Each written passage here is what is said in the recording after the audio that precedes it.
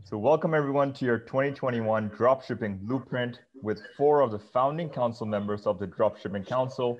I'm super excited to have this panel back together after how well our Q4 Dropshipping Blueprint was, was received uh, late last year. Um, it's great to have you guys back on.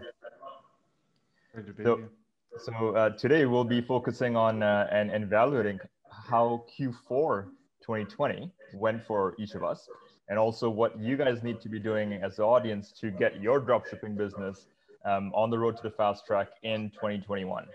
Um, as a brief intro, if you don't know what the Dropshipping Council is, it's an exclusive invite-only mastermind community of pre-qualified dropshippers that have hit at least 100k per month in sales um, and the council members get to network with other high-level dropshippers, um, kind of like the panelists that you see on here, uh, through a dedicated Slack community. They also access privately held masterclasses, and they get access to exclusive discounts with major partners like SMS Bump, Recart, and Debutify. Um, so head over to the dropshippingcouncil.com to see if you qualify. Um, now let's do a quick round of introduction before we get going. Um, so again, very excited to have with us today Peter Pru, who is a two-time two comma club award winner, and he's also the founder of e-commerce empire builders. Um, super pumped to have Kamil Sattar on board, also known as the Ecom King. Uh, he's one of the most respected dropshippers in the space on YouTube. Uh, and also Ricky Hayes. Ricky Hayes is the co-founder of Debutify, uh, and that's one of the most popular Shopify themes for his stores. And he's also built multiple six and seven figure e-com stores. Um, and finally, my name is Shishir Nigam, and I'm the founder of the Dropshipping Council. And I also run my own e-com stores that have exceeded seven figures in sales, along with our YouTube channel, Journey to Freedom. Um, and what we'll make sure is you'll find the link to each of our YouTube channels uh, in the video description, as well as to the Dropshipping Council. So again, very excited to dive into the questions now, uh, so we can help our audience make 2021 their most successful year yet. So let's start off with uh, a bit of a postmortem about uh, on on Q4 of last year. Uh, running into Q4, this was really uh, built up and hyped up to be the biggest ever Q4 because of COVID, because of the rise of e-commerce. Um, do you guys think BFCM and Q4 in general did it live up to its hype? How did each of you kind of do during that phase in Q4 last year? Yeah, so I think I'll go first. Um, this Q, well, last Q4, I made a video about it on my YouTube channel. And I show the day in my life doing Q4, and we did around about four hundred and eighty thousand dollars in the end, just during that during that time. Um, it did, it, it, it was good, but uh, although it was the best time ever to to do it, I actually scaled like down by at least maybe almost almost just over a half. I scaled down. Um, we could have done at least seven figures, but due to the shipping times and the supply issues, Mhm. I did not want to risk any like crazy chargeback. So I actually made less in revenue this year, but I was actually five percent more profitable this year, which is insane. So that was pretty much what I chose to do this year. Well, last year, Mhm. sorry. That's great. How about you guys? So yeah, for for me, it was quite the adjustment. This the the last time we we talked. You know, my my my daughter was born in uh, uh late July, uh, which was a big adjustment. Obviously, at that point, you're really planning a lot of this stuff out. And so my big focus has, has been, you know, just hiring a lot of people, just like teams, building out proper SOPs, like, and really for me, it was making sure that stuff can operate without me you know we've had some problems you know we, we drop ship a lot of uh, supplements primarily you know very high margin which is great but you know we did end up actually selling out of our supplement which is which is awesome but we had an order for 10,000 units supposed to be ready to go uh to like in order like around the christmas time because we sold out around uh, uh on black friday Mhm. um, but COVID, like completely, you know, I don't know if you guys have done anything with supplements before, but there's been a lot of delays uh, for some of the ingredients um, Mhm. and and the co-packers and stuff like that.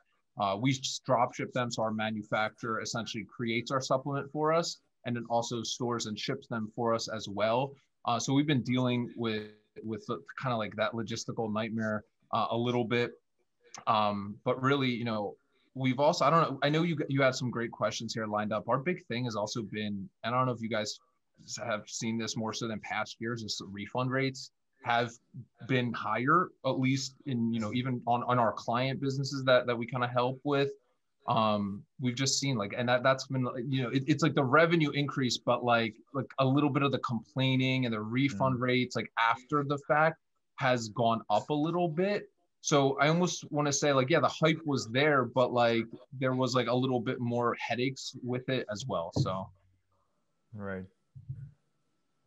How about you yeah, um, similar similar for me. Um you know in terms of that so I, uh, similar to Peter and uh, Kamil, I use a warehouse myself, um, my own warehouse, and that. And the problem that I had was that COVID just caused massive delays in terms of the actual orders being even shipped. And then, then at uh, border control, it took like two weeks just for the orders. So uh, my re- my revenue was nowhere near as high, and um, I took the perspective of uh, Peter and Kamil as well that I didn't really want to scale as high as well mm-hmm. because um, my shipping times were really fast because I could get them into the warehouse. But my problem was is that getting the product to the warehouse was the entire problem. Um, so for me, I wasn't able. I scaled pretty comfortably up to about the 16th of December. Then I pretty much just had to stop because uh, pretty much just ran out of stock. And so um, my revenue was nowhere near as high as I wanted it to be was only on this latest store hitting about 7K a day um, and wanted to scale far higher, but wasn't able to just simply because of COVID restrictions and stuff as well. So I just didn't want to get, like what uh, Peter said, chargebacks and refunds, nothing worse, honestly. And um, even though planned ahead for that, still got some straight after Christmas. I don't know about you guys, but man, it's crazy. I don't know what it is. I've never and like being honest, like you know, you have to deal with chargebacks, refunds. It's like we're still dealing with that mm-hmm. now. Like it's yeah, more so than ever. Last month, last month, I had more refunds and chargebacks than literally in like two years combined. Wow. Right. Like it, it was, it was, I don't, again, it could have just been, you know, some stuff with, with our, with our process, but like it, it just seemed really high. Right. But no, the reason, the reason for that, I actually got on a phone with a Stripe rep the other day not not the day, about about a week after January, and they basically said that the reason why the chargebacks are high is because people are trying to get money back to help them during COVID. So they're mm. saying that that's a massive issue that they've had very recently. So yeah, maybe just people trying to yeah, try so try things on, right? Um, Rick, your camera's green, but we can hear you fine, so I think it's okay.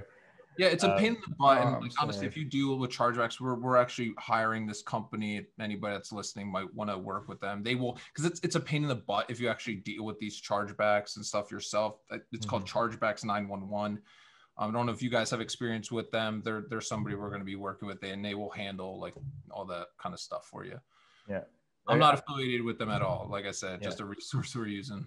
Mm-hmm. No, I'm I, am obviously hearing a theme, right? Like the Q4, I think even for me was not as good or, or as huge as it was, I think in 2019. Um, you know, I I've, I've been holding my inventory through uh, SFN, Shopify Fulfillment uh, Networks in in the US. The same thing. The stock that was there, yeah, they delivered that very quickly. You know, three to five business days. But getting stock to the warehouse, uh, just you know, stuff getting stuck on the border and and taking weeks longer than expected. So stuff which I was expecting to arrive in time for BFCM didn't show up until mid December. So you, you, kind of miss the boat on that. Uh, so you know some of the inventory that gets uh, carried over, still trying to work through that in January. So, but yeah, it's it's in it's, it's learning. I think uh, through throughout the Q4, every Q4 brings its brings its own learning experiences along the way. Um, so, what are you guys planning to do differently uh, this year. So 2021, looking forward, what are you guys doing differently this year compared to 2020? You know, anyway. for you know, so, so for us, it's you know, this is something we've been always focused on, but more so heavily. It was actually interesting. It was like our last conversation we were talking about like phone, SMS, text messaging, and stuff mm-hmm. like that, and just like really you know you you see all these privacy concerns and, and i'm sure we'll get into that more so but i think this is going to encourage more people to like really like focus on building stuff that you control you know, like social media is great, it's an asset, you know, but still, do you really control? Like we lost an Instagram account for like two weeks and for like mm-hmm. no reason, and finally, you know, so is it an asset? Like yeah. kinda, but you know, like you know, emails, phone numbers, putting like massive effort into that, right? These are things that you know you really control. So that's that, you know, going into 2021, that's going to be a, a big thing. Mm-hmm. One thing I noticed, just coming kind of going back to Q4 of last year um, in comparison to the years before, I've somehow found the effectiveness of text marketing to be a lot lower. I don't know why or how, but the same things that got me amazing results in 2019 um, didn't do much at all in Q4 last year for text marketing. And you know, one clue that I got from some some of the other friends I have was even text messages now kind of have a spam folder. Uh, so many of your text messages carriers right Correct. so so so here's the thing like we use twilio so you can use we use a couple different platforms but twilio if you, you like use it with active campaign that's kind of how we we integrate it mm-hmm. it's kind of a one-way kind of communication so when they reply back you kind of need to use zapier and then like we send it to right. a slack channel where all the replies go mm-hmm. but they can't you can't like text them back right like yep. with a support so if you get flagged by these carriers right mm-hmm that's what's going to happen. That actually happened to us, and we hmm. ended up having to get new phone numbers that you can get with Twilio. They're like a dollar a yeah, month, yeah. and then you could send out those those broadcasts again. I mm-hmm. I don't necessarily know the best way to go about that with the filters. I think you know we work with someone that really helps us manage this. It's just about lowering the volume of yeah, it. Don't like try and blast twenty thousand texts in in a you know a day. Try to stripe it over a week. So that's that's what mm-hmm. we're doing. Yeah. How about you? You guys, uh, Ricky? It's also yeah.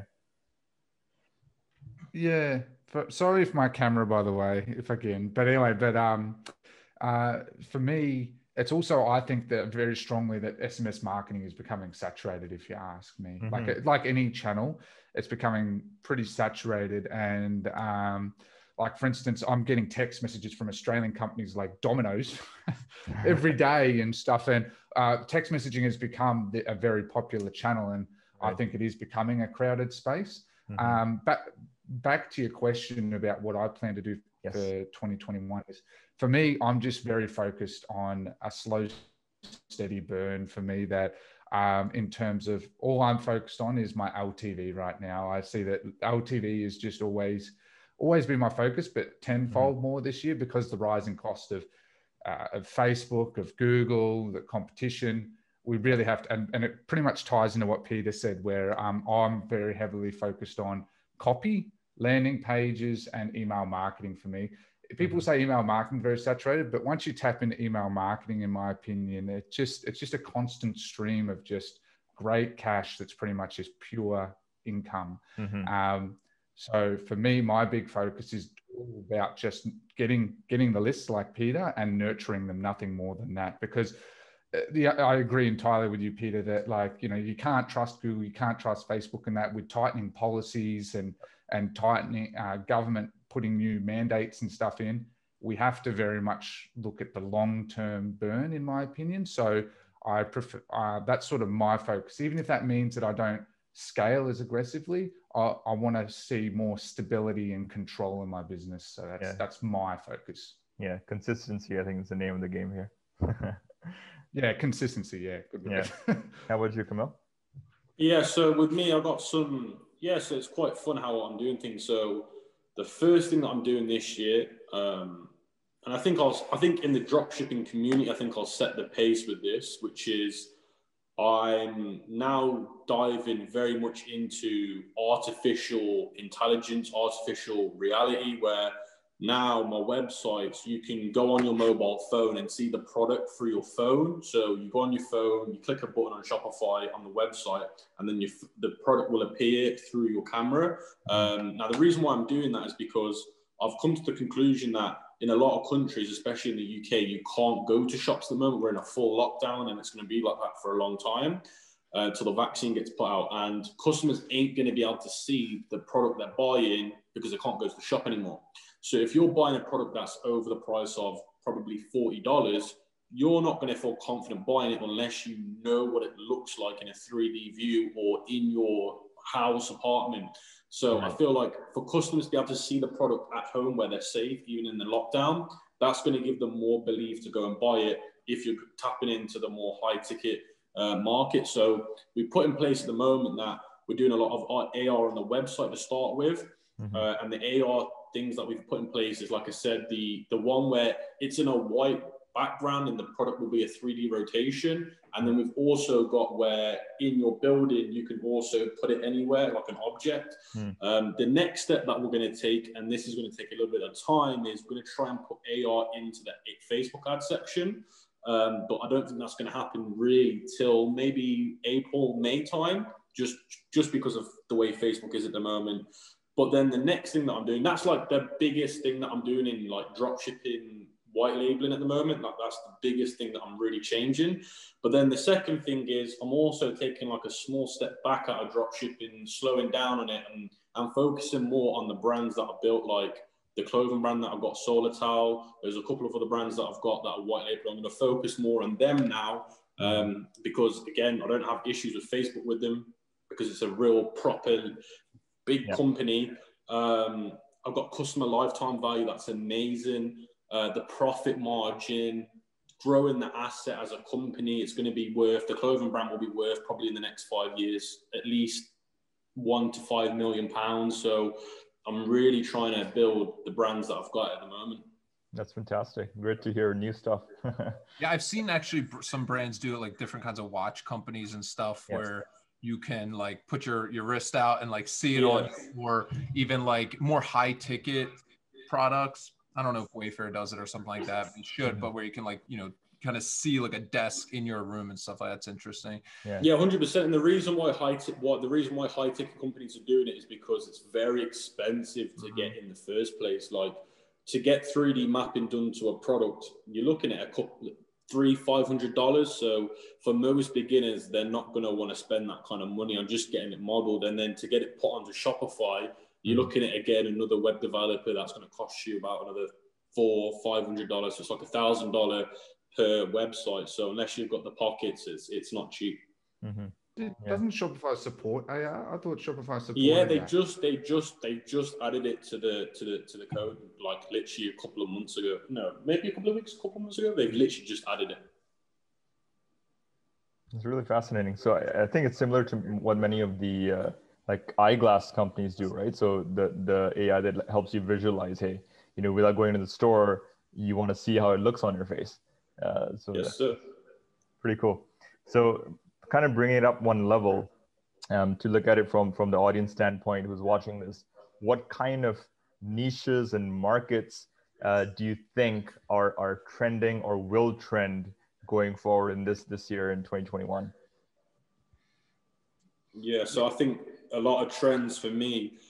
Um, personally, for me, I'm I'm I'm diving a lot into digital products um, because they because a lot of people now have never had more time than ever to go on their phones, mm. their devices. So I'm currently selling a lot of digital products um, that that that that are, I don't want to give too much away because it's such an unsaturated niche in the in the industry. So but for example, let's say you you sell like presets for photographers, you know, like presets you, they can add on top of their photos. Mm-hmm. You can buy them on websites for like a couple of dollars and then just sell them on as a digital product. So to drop ship like that, you don't need to send it to people.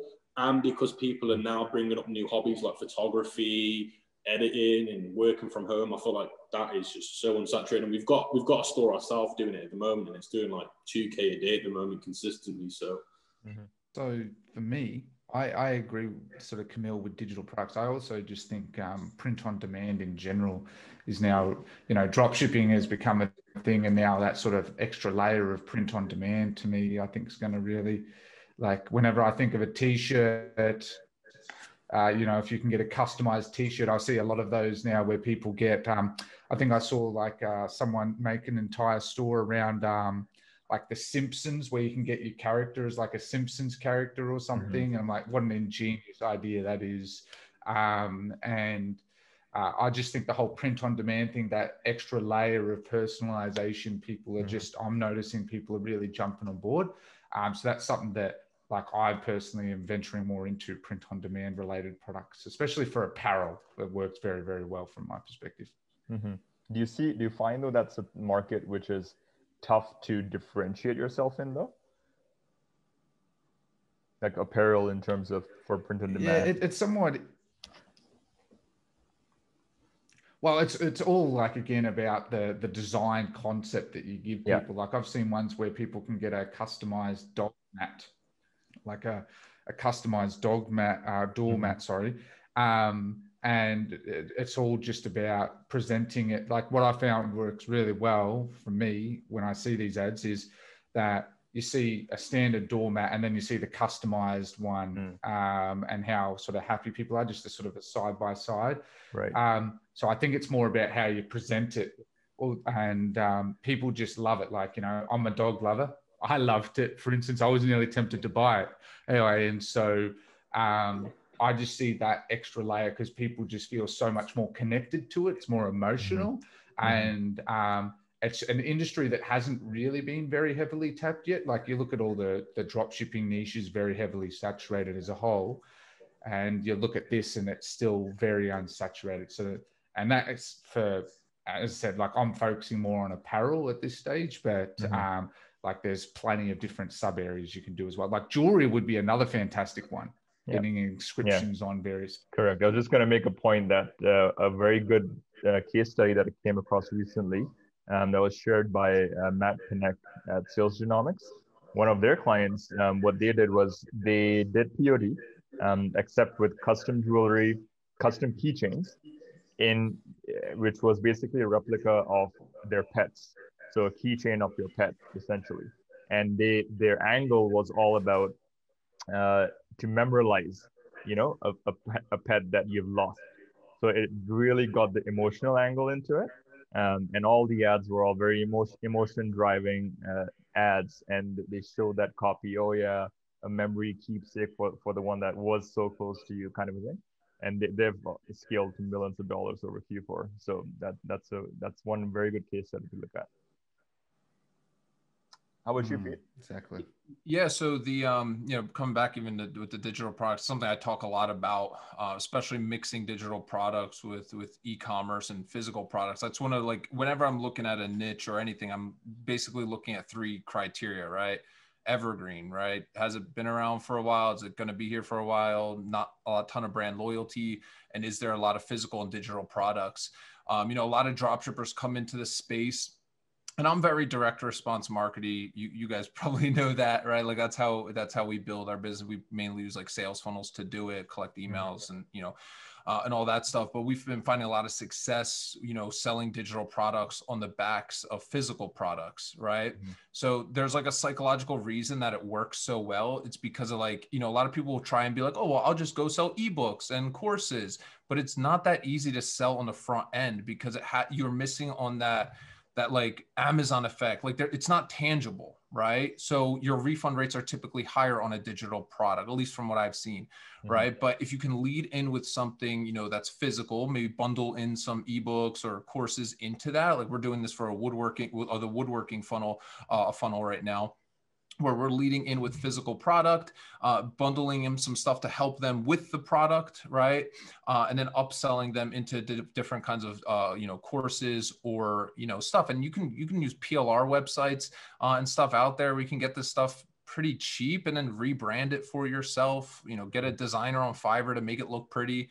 Um, and it's all margin really. So if you add it as one of your like one click upsells, um, let's say you charge 29 bucks for it it cost you you know 50 bucks to make it look pretty right? Like you know after a few sales right you're you, you could really dilute that ad cost right? And that that's big for me.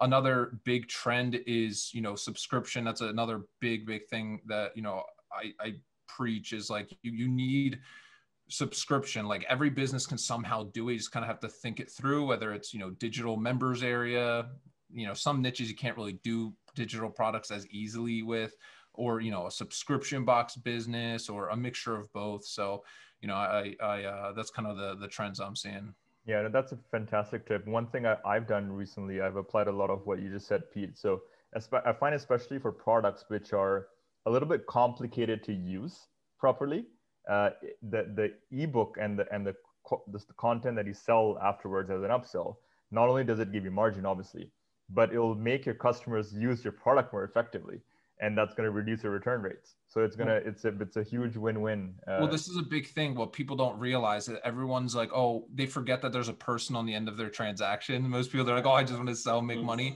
But it's one thing to sell somebody something, but then you have to sell them on actually using it. I'm reading hmm. actually a really good book. You guys would love it. It's called Paid to Think. It's mm. um it's a, kind of boring, but great read if you're trying to get into that you know that CEO mindset. And that that's like a big thing that they talk about in there, right? Because if they're not using your product like people try to combat refunds with like you know other in other ways like you know but like what if you just get them to use it more effectively right then mm-hmm. then they'll, your refund rate and chargebacks and all those things will naturally go down yeah that's fantastic one just tangent from what you mentioned um, upsells so i know zipify for example has moved to uh, you know being uh, native to shopify and that right now at least it has its own set of restrictions i believe uh, pay, it doesn't, you know, accept PayPal payments at the moment. I'm guessing they'll get around to it. But how are you guys dealing with that move? What do you guys use for your upsells? Um, let's talk about Shopify. I know obviously there's other platforms, but on Shopify, what do you guys use for upsells? So I, I mainly only use ClickFunnels. Any client that we have that we'll build funnels for and stuff like that, we'll just mm-hmm. port it to a Shopify backend to to fulfill it off of. Mm-hmm. Um, I personally you can there's other platforms out there i've been using clickfunnels for like six years now you know you get away with a lot more right like at the end of the day like shopify is a publicly traded company you're not going to get away with certain things like there's ways now to combat know, with the tracking and things like that that's going on with with with with some click code you can add to your clickfunnels pages so i just use that and you know it, it, there, it doesn't take a portion of your revenue onto upsells that, that it makes you. So there's there's mm-hmm. benefits to that. I know like some people say it's clunky, this or that, you know, it's like anything, but you can always port those or- orders over to your yeah. Shopify store. So to me, it's just that's what I use. So I know you guys will probably have you know better tips for the Shopify side. Yeah. How about you guys? What's your experience with the one-click upsells? Yeah, so I actually have been trialing the one-click upsell because of the native integration, but I'll be honest, it hasn't been working as well for me because, um, and it's a bit annoying uh, that I have you guys ever heard of Afterpay? Um, yeah. Or, um, yeah. Yeah. So anyway, buy now, pay later. Like I think there's Klarna, there's Affirm.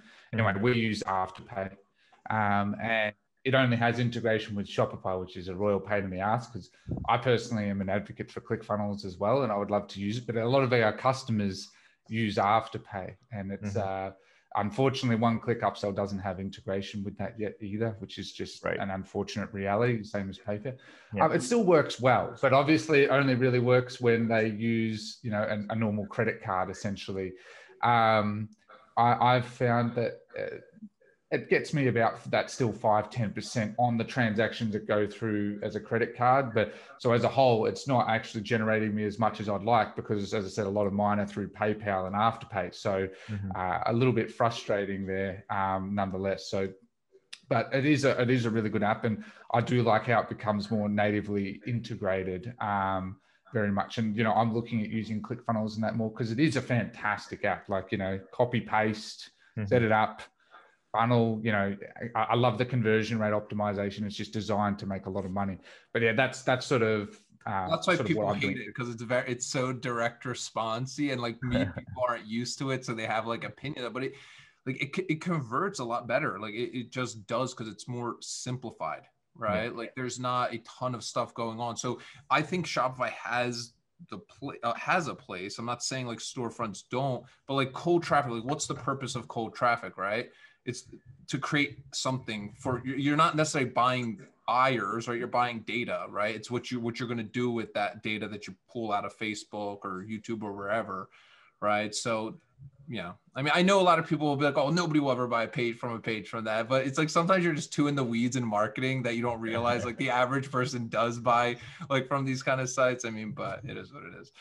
I yeah, I, I agree though. Like, you know, to me, the most important thing is having a very simple, you know, focused journey for the customer and copy. You know, I, am a big fan of my copy. You know, it makes mm-hmm. I until like a year or two ago, I had no idea how important a headline was. Like how important a headline is to pre-frame someone, for instance. Anyway, but, but sorry, back to your thing. Like as I said, one-click upsell for me is what I've been using. I know there's others that I've used, like um, uh, reconvert. I personally haven't had mm-hmm. much success with that. If you if I'm honest, I just for some reason have I get like one two percent. I don't know why, just pretty poor. Yeah. Um, and then there's some others, and I, I can't fully remember which ones they are, but that's yeah, sort of my. There's a few like in, Instacart, and not, not not all of them have made it onto the native uh, checkout. So I think only two or three of them have actually made it. Zipify being one of them.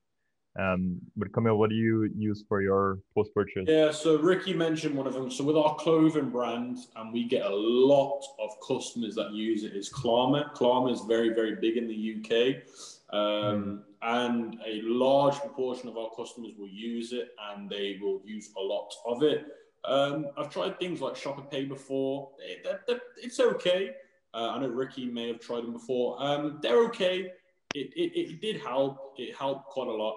Um, talking about, I did use a company called Commerce HQ. Um, and I sold something on there. And Commerce HQ is not Shopify; it's a different platform, but hmm. they've got their own checkout um, upsells and stuff like that, the whole funnel and whatnot. Uh, I wish Shopify had that because their version of it is amazing. Hmm. Um, and, and, that was really, really good. But the ones that work on the, the apps that work on Shopify tend not to do not tend not to do very well for me. But the one on on Commerce HQ worked insanely well. Right. If you ask me, I don't know why Shopify just don't have their yeah, own exactly one click upsell.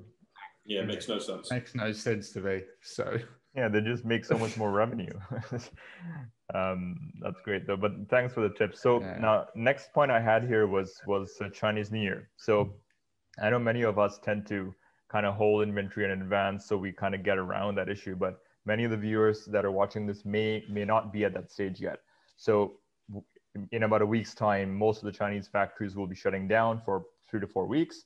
Um, so normally, you know, in your past years or even now, how do you guys deal with with that supply bottleneck uh, that's about to start in a few weeks? Yeah, so with um, Chinese New Year, if it if we're doing a product that's completely drop shipped on a longer term, we'll do something called a pre-order. So we'll change the buy now button to say pre-order, and we'll have a whole pre-order terms of service page, mm-hmm. and we'll have an email update list telling the customer up to date when the product will come in stock and when it'll be approximately delivered. If we're not doing that, then what we'll do is we'll use a supplier. So a good supplier to use is Weo. Weo are only taking three days off this year hmm. instead of uh, two weeks. So use a supplier or use a US supplier normally because if you're using like DSers, you can filter for US suppliers or just use like CJ Dropshipping US uh, fulfillment. That's what I tend to personally do. Mm-hmm. Great tips. I think there's also companies yeah, like so Spock, personally, companies like Spocket uh, that also again give you the US suppliers and, Euro- and European suppliers. Sorry, Ricky. No, you're right. Um, yeah, no, you pretty much covered all the bases there for me too. But like as I said, the main thing that I do uh, that I always stress to everyone is make sure to say that it's on pre-order. um, and I cannot stress how much you want to say that it's on pre-order, and like and that you know we've all probably had it. Anytime you put something on pre-order, you you put I put it in the the top in the in the announcement bar, pre-order, put it in the description, pre-order. I make sure they get an email that it's on pre-order. You'll still get emails. You will still do. You'll still get email. Why is my order not arrived? Oh my god. yeah. Anyway, but um, so that's pretty much what I like. I actually um, just put items purely on pre-order, and I'll go into overdrive to make sure that. Uh, customers know it's on pre-order. Um, in terms of with the suppliers, again, I just uh, historically, just use CJ drop shipping, if, if I'm honest, and Spocket. Um, Spocket, I find personally, I like better for the European region, but because I've more targeted the, the US region, that's why I've just used CJ. Um, and that's pretty much uh, my strategy there. And I will very much, from my perspective, take the perspective of, of uh, reducing revenue during that time because I just, it's only a week, in my opinion. I'd rather not push things high and make a nightmare in the long term for myself. Mm-hmm. Pete, any any additional tips there? I think we've covered off most of the things. It seems. I think the guys pretty much covered it. I mean, it's like every year, like this yeah. comes up. There's like you know countless amounts of YouTube content already on this, and yeah, everyone freaks out. But yeah, it, the big thing over communicate. You know, a lot of times I, you know, people see this coming. Like you could have sourced inventory, right? Like you could have mm-hmm. you could have done those things like beforehand a lot of people, you know, try and scale right with just AliExpress. You can, of course, but like to me, it's like you might you you want to get to the point where you're you're building a brand, right? Like something a little bit more real, like not like sticking to to AliExpress or or whatever. I know we we leverage CJ dropshipping heavily as well, but you know, over communicate with your customers, you know, and learn from it, right? Like for next year, like source, start mm-hmm. branding your products if you already have winners, right? Like you're going to create something more tangible, a sellable asset, right? Like so yeah, that's great. Now, one um, one obviously issue that's hitting hitting everybody um, on the Facebook community is is the iOS 14 change, um, and how that's that's affecting advertisers and and all the implications and all the confusion that comes along with it. Um, so, uh, in the last probably three or four weeks, we've gotten a, maybe a bit more more clarity on the exact impacts and what to do about it. But how are you guys adapting? Are you making any major changes? Are you basically status quo in terms of adapting to this uh, iOS 14 change? Yeah, so for me personally, I'm just making sure that every domain name I've got is verified now through the business manager as they as as it is a new protocol. Um, and to be honest with you, in my opinion, from the ads that I've been running recently, and since if I compare them back to last year before the change, I've not really seen that many issues. I've not really seen that many like fundamental changes. I know mm-hmm. the events that you can target are a lot more limited, but the ones that are still available are the ones that the ones that are not available. I, I didn't even use them anyway, really. Yeah. So personally, not really done that much change. Yeah, I I agree entirely with Kamil. I read it and I'm like, this isn't going to have that much of a change. And I watched your video, Peter, as well on the iOS update. So that was good. Thank you. Anyway, and um, but but for me, like the way I sort of interpreted it is, is that most of us, I'm sure, probably just use the purchase event really at the end of the day. And I don't know, the way I looked at it is I I haven't personally noticed much of a change. And if if I look at this anyway, as even if it doesn't have much of a change, again, like Peter was touching on it earlier, um, I work on this at the basis that we are always at the mercy of these platforms. So what I always like to take the perspective of, if you ask me, not to get too much off topic, is diversification. So that's where mm-hmm. like I work on a number of traffic sources, so that if something goes wrong over here, that you know, my business isn't going to flop. So that's very much the perspective I take. That this will, in my opinion, this iOS update from Apple and stuff, this, this stuff like this will continue happening. I reckon that something like this might happen with Samsung in the future too. And mm-hmm. so I just think it's important to not just rely on Facebook, if you ask me. Just look look elsewhere as well. Yeah. Yeah, you know, I think everyone's going to follow Sweet. I I know right now, like results wise, like doesn't seem like there's that big of an impact. I don't think we will know till it's a little bit more broad right? Like you know with with safari and google chrome and like all the you know potentially like samsung and all these things start happening. You know we we leverage third party tracking software right that that just sees gives you much better results anyway. Um, you could do you know hyros is a big one. It's kind of expensive. Um, there's another cost effective company that we've kind of partnered with um, it's a Capitbox. I don't know the official website. It might be capitbox.com, but you can essentially install code on your ClickFunnels account, and it's like an API, so it'll still be able to track uh, a little bit more accurately. So you know there'll, there'll be a lot more of these things. They might be band-aid solutions in the mm-hmm. short term. They might work a little bit better. Who knows how long Facebook will allow those kind of things to to happen, but you know, it's you know, I, I I'm I'm I'm with you here, Ricky. Obviously, it's just diversification, right, off these platforms, bring in traffic that that you have a little bit more control of.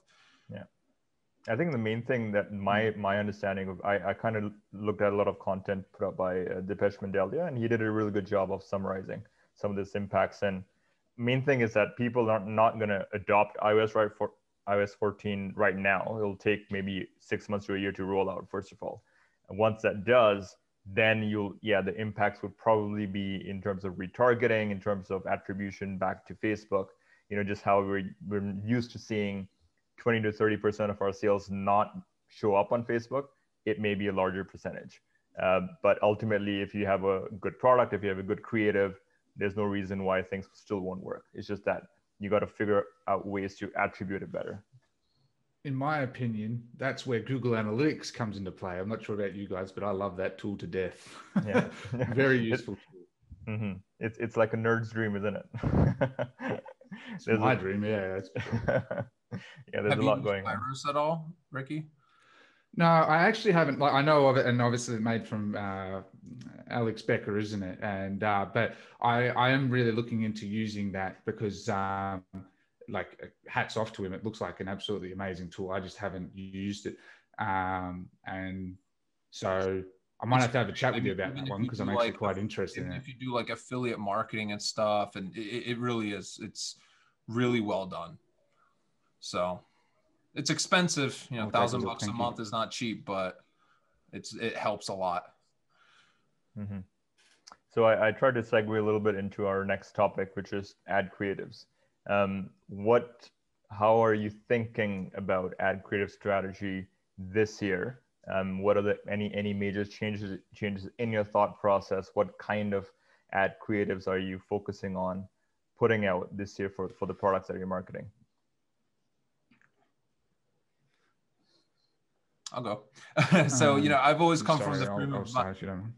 Oh no, you go, Peter. Sorry so I always come from the frame of mind of just variation, right? The more variation you kind of put out there, you know, seeing mm-hmm. which ones are which ones are winners, you know, um, that that's the that's that's the biggest thing. You know, at the end of the day, right? It's it's it's just a funnel, right? And I think people try and you know when you're creating new creative, whether it's image ads or video ads, or a lot of people try and like do everything in that ad so they buy when they get to your page but like sometimes you you have to think about it right? Like because it's a funnel right? They they the purpose of the ad is to stop a scroll right? That's mm-hmm. that's that's first and foremost. That has that has to happen. Otherwise they'll never click your site. They'll never do all those other things right? So it's about making sure you're really focusing on the on this on stopping the scroll um i we've actually been having just such great results with image ads to be honest with you. Like hmm. they, they've been really working really well for us. We we do video ads too of course um just demonstration style but it really depends on the product right? If it's more of like a not like the most fun product then image ad typically suffices but the point is you know get them to stop the scroll get them to click right that's the purpose of an ad right to get them to click and then when they land on your landing page you know then you know getting them to sell them on opting in and then selling them on order uh, ordering, right? So that's kind of the frame of mind that that I've uh, that I've always come from. As far as creatives, you know, I always you know recommend you know refreshing those creatives, you know, almost on a monthly basis. You know, don't just go into Facebook ads and with one piece of creative. I would never, you know, bare minimum if you're just getting started with Facebook, at least uh, at the very least like four right pieces of creative, whether it's images or a video here too. Yeah, that's great. Yeah, so me personally, um, sorry, Ricky. Me personally, sure. um, like Peter said, I've, I've found that picture ads for me personally have been working really well. Carousel ads have been working extremely well, but the new catalog ads that Facebook have given out now um, have worked really, really well. The new catalog ads have worked even better than uh, carousel ads for me personally in the last few weeks. Um, in terms of video content, I'm using a company, I'm not affiliated with them. I'm using a company called Billo. Um, and that's where you send your product to one of the creators and they'll do like a video of an unboxing experience or a website review experience so um, having those different five uh, psychology um, experiences and split testing all five of them um, i'm finding really really useful mm-hmm. yeah, what's that great. site name it's called b-i-l-l-o it's really really good, man. It's what I use. It's not cheap. Don't get me wrong. It's like fifty dollars a video, but dude, by far the, some of the best stuff I've seen. That's cheaper than sending it to like an influencer, typically. Yeah, dude, it's a lot cheaper and it's a lot better in terms of the the customer support, um, the creators' expertise. It's just it's amazing, dude. It's if anything, it's un, underpriced. Mm-hmm. Yeah, I looked them up after our last conversation, Kamil, and they're they're pretty good for sure. I'll be using them more. Yeah, I didn't remember that one, so I'm taking note. Anyway, um, so, um, so, uh, so for me, like same with the guys, like obviously creatives, I find um, catalog ads actually do quite well as well. Images, it's funny how I think images are working well now because so many people are doing videos. You know, yeah. It's sort of a funny thing, and and that becomes a pattern interrupt, which is a funny thing. But for me, I actually I look at it as well that um, the reason that personally like catalog ads that does so well for me, the same as like Kamil, is more because of the amount of placements you can be on. Um, because again, like I I'm focused a lot more now on like you know, obviously the news feeds are always going to get you the most traffic, but is it going to make you the most profit? Obviously, you know, and so uh, the good thing with catalog ads is they can pretty much show up anywhere um, mm-hmm. on nearly any placement. So I focus on that, and it allows you to just show up on nearly any placement. And a lot of Facebook is now very focused on trying to release new placements where feasible. And so I find that that works very well for me. And they're so easy to do. It's pretty much you just integrate your catalog and you just literally run an ad. It like takes no time. You just do the targeting and it does the work for you. Mm-hmm. So, um, so that's sort of one of the things. And like I try and cycle my creatives, especially for a winning product, probably yeah once a fortnight, where at least one to two new uh, variations of an existing winning product uh, creative, sorry, that I use and repeat that cycle. It's pretty much mm-hmm. how I do it. That's great. Great tips, guys. But so Kamil had to drop off, but we're talking about Facebook ad strategies. Um, how are you guys uh, adapting or evolving um, your testing or your scaling strategies on Facebook? You know, the debate between, between CBOs and ABOs. What's what's your take on that for 2021? Um, yeah. So for me, if I'm honest, I haven't found if from my perspective anyway, I haven't found a clear differentiator between the 2 i mm-hmm. I've just stuck to CBO, if I'm perfectly honest. Yeah. I see that ABO is very good for starting out, in my opinion, from what I found. But I, I, find that CBO gets its feet after just a bit longer. And I find that it, it just makes the scaling process a bit easier longer term. Mm-hmm. Um, so I generally just stick with CBO. It might be a little bit more painful up front, um, I've found at times, but I always find over time, it, well, from my perspective, that I found that it generally stabilizes and does better than ABO. Mm-hmm. Um, that's pretty much, and I've just decided to take perspective of look, both strategies work, ABO or CBO, and I've just decided to stick to to CBO just to be consistent with my marketing. Otherwise, I'll just confuse myself. So, right. like my my recommendation to anyone is, is that just either go full ABO if you ask me or full CBO. I, that's my perspective anyway mm-hmm. on that topic. Yeah. It's interesting. Like whenever we launch like new stuff, like I'm not very involved in the day to day of actually running the ads anymore, but just from when I go in there regularly, we've always like on new stuff that we're testing. It's always the ad set budget stuff has always worked better for for some mm-hmm. reason. Like so, um, we've we've we've stuck with with that. Um, so that that's kind of where where we've been. You know, for for us into 2021, it's not necessarily just focusing so much scaling the Facebook side, but it's going into these different platforms as well that aren't like like everyone thinks it has to be Facebook, right? It, like it, there's so many other places to get mm-hmm. traffic from that you wouldn't even think of right? Like like crazy ones like Bing, like AOL, like Snapchat, TikTok, right? Like there's so many places that that you can you can get traffic from. So we're really focusing on the omnipresence sort of a, a, a approach, you know, in, in 2021. Mm-hmm. Um, but I still think Facebook is a great starting point for for for anybody. Yeah, no, I, I agree with you guys completely. So just kind of on the CBO ABO topic, I like you said, Ricky, I tend to start out as with ABOs for my testing and then migrate stuff to the CBO for scaling.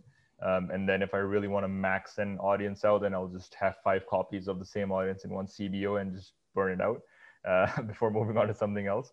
Um, but like you said, Pete, I, I've really focused a lot on testing new platforms. So I've been trying to run native ads. I've been trying to run Twitter ads.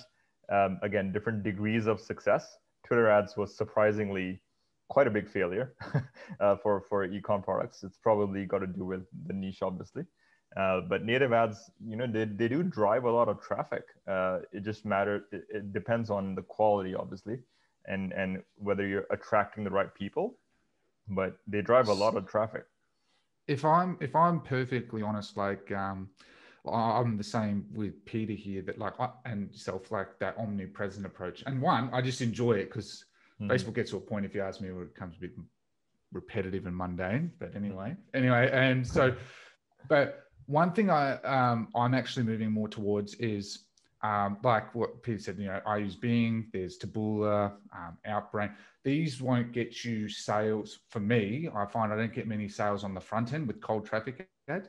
But I find Facebook is incredibly good for remarketing. So I'm actually using more Facebook um, for a lot more remarketing focus than a lot mm. more cold traffic, just from what I found. Because like, for instance, with Taboola, I can get clicks for like six cents. Like, you know, although it, and as hmm. long as I'm optimizing for conversions, that works really well. And Facebook is where nearly everyone ends up. And so mm. Facebook does really incredibly well for remarketing. So like um, I I still use it for cold, but I'm trying to use Facebook more for uh, remarketing long term because I find that's where Facebook really really shows its colors. If you ask me. Right, that's fantastic. Anything to add to that, Pete? Yeah, and I mean, not even as far as Facebook, just even like other traffic sources. I think a, a lot of people don't leverage like JVs, affiliates. Like if yeah. you have the margin in your product, right? Like you should be, you know, actively trying to get affiliates to promote it. Whether it's, you know, go put it on ClickBank, right? Like reaching out to, you know, uh, influencers in your niche on YouTube or whatever, right? That's such an untapped source because it takes a little bit more time because you have to be like a human, right? And like actually build a relationship with somebody. And nobody wants to do like not a lot of people want to do that, right? Mm-hmm. Um, but like that's a, that's a huge thing. Imagine, you know, like a lot of people are like, oh well, how do I get to you know a seven figure month? And I come from the mentality it's a lot easier to make a lot of money in a small period of time than it is, you know, in a long period of time. And the reason for that, it comes down to the strategy right that that you come up with right imagine finding somebody that has you know 200,000 people on an email list or, or something like that that you can then partner up with. Yes, they might get, you know, 30, 40% commissions on your product, right? Depending on whatever you're, you're selling, but like you can, that's how you can have a, a million dollar day, like pretty, pretty quickly. So just changing the, the frame mind, we're putting a lot of focus on that, you know, this year, you know, our supplements on, on ClickBank as well. Mm-hmm. So we're really focusing on like getting more affiliates on board and, and, and things like that You know, I've just found they already have like the hardest part of this whole game is warm traffic, right? That's like the hardest thing, right? Like, so, you know, I think there's, you know, a lot of people under, it's underrated, right? For sure. I agree. I agree, Tyler. Like I'm pushing hard for. I haven't used ClickBank. Um, I might have to pick your brain on that too. But like the, um, I'm using one a similar one called Impact, mm-hmm. um, and um, like I, I found it's it's fantastic. Like the the thing is if i have to give an affiliate 30 40% like that's essentially my marketing cost of yep. what it'll be with facebook mm-hmm. anyway and it's more consistent mm-hmm. and all i have to do is i can easily outsource that work to one of my staff and it's it, it, you don't have to worry about the inconsistencies of facebook it's like because these people are just absolute experts like these people know how to nurture a list beyond comprehension. Like mm-hmm. these people have been doing it so long, they just know how to get their audience to buy like nothing. Mm-hmm. And so, sorry, go ahead. There's like a like I think this will help you is like you have to make it really easy for them and be yeah. like integrated. Yeah.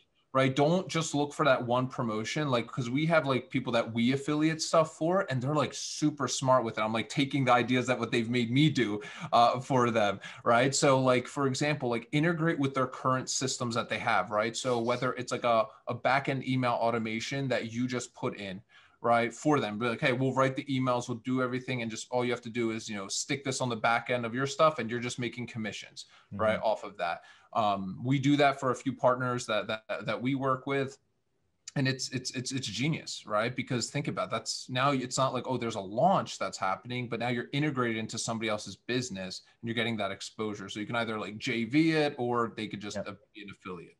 It's, it's kind of like it brings, it brings to mind a ShineOn. So ShineOn is the print on demand jewelry, and they do a fantastic job of of uh, using affiliates, obviously, uh, to to and they give you all the materials, the, the plug and play kind of a concept. You know, take it, use the creatives, drop it into your ads, and and run with it, kind of a thing. So I think ShineOn is a great example. It's got to be easy. That's affiliates are lazy JVs are, are lazy and they're not going to go and do hard work for you because they don't care about your business as much as you do. But if you literally do all of it for them, right? Like, and just make no excuse for it. And like, really, because at the end of the day, they really just mainly care about money, most of them. Like, if you just make it like a no brainer, like, hey, we'll create everything for you, we'll write in your voice, like all that stuff, mm-hmm. then yeah, that, that, that, then it's a no brainer for them.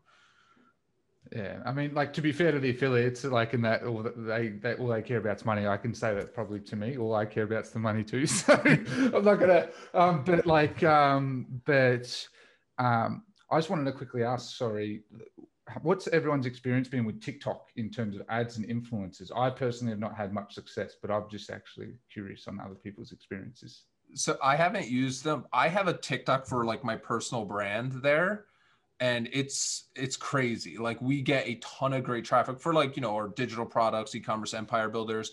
You know for for untapped we we do have a tiktok on there as well. We just haven't necessarily cracked the code because the thing about tiktok is it has to be like a very sexy hook mm-hmm. right? And it's like kind of hard to make a supplement very sexy about it. So it's like it's a little bit easier right when you show like results and all this nonsense like with personal brand like it stops it. So we've grown really, really pretty big on on TikTok there, but it's actually a really good source of traffic uh, for us. And and you know we're we're trying to crack the code. Um, with our untapped supplement where we have like a plan to do like motivational videos and, and, and stuff like that to try and get them to, to stop. Um, I haven't done any TikTok influencers. I know there's people that have success with them. I haven't I haven't tried it yet personally, but I think there's I think it's an untapped uh, untapped market. Like anybody yeah. can go on there, man. Like it can change your business. Like if you go viral, like whatever, it's it's it's definitely an interesting platform. Mm-hmm. I think it's a very niche specific thing, right? If you have products that resonate with that age group, uh, with the I don't market. even think that it's age group, man. I think I think people on there, like even in like my stuff, there's people 30 plus for into mm-hmm. their 40s on there you know like i don't think it's just kids. I think that there's a lot of oh, like my sister's on it and she's like you know like you know, 40 almost. So you know like a lot of people are using are using i think it's an underrated platform. I, I really i really do. Yeah that's great. Thanks for all the tips guys. I think this has been a very very good discussion as last time. Um, again thanks to each of you for pouring your hearts out. Um, Kamil had to drop off a little, little bit early uh, but again, if you guys are watching this, if you found some value, make sure you smash that like button. Um, comment below 2021 blueprint. Get your questions answered. All of us will be answering questions. Um, and if you get lots of good feedback, we can do this again in a few months' time. Um, so again, thanks to all of you um, and best of luck for 2021. Thanks, guys. Take care.